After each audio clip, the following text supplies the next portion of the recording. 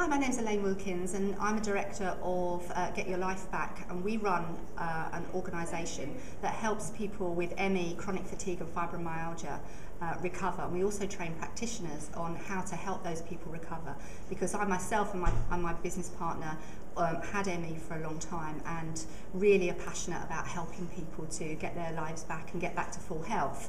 One of our absolute passions and dreams was to set up our own association where people that were ill could access uh, information, positive information about recovery as soon as they started searching. That was something that was sadly missing when we were ill, and that's why uh, both myself and my business partner were ill for six and seven years respectively.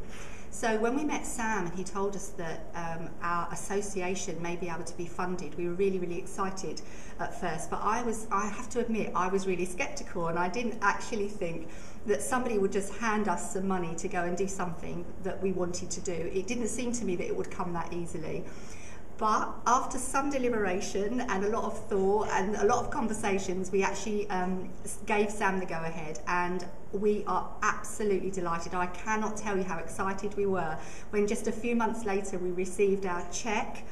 and uh, we were able to tell our community that the plans were going to go ahead and within the next few months our dream's going to be realized and we are we're already having the website uh, made it's fantastic we're actually in the process now of it becoming real that that just that dream is now coming true, and that's thanks to the work that Sam did for us. He's been so clear, so helpful, and really just made it just so easy. So um, absolutely recommend working with him if you've got a, a project that you're passionate about and that you'd like to seek some funding. So thank you, Sam.